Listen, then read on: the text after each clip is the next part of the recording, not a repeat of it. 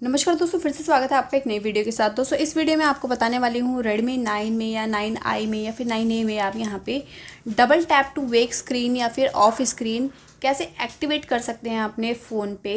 तो double tap वाली setting तो आप जानती हैं, ऐसे डबल टैप करते हैं तो आपका स्क्रीन ऑफ़ हो जाता है ऑन होता है। तो यहाँ पर इसकी सेटिंग करने के लिए चले जाना है आपको सेटिंग पे। सेटिंग पे जाने के बाद आप यहाँ पर स्क्रॉल करेंगे। और यहाँ पर आपको क्या करना है?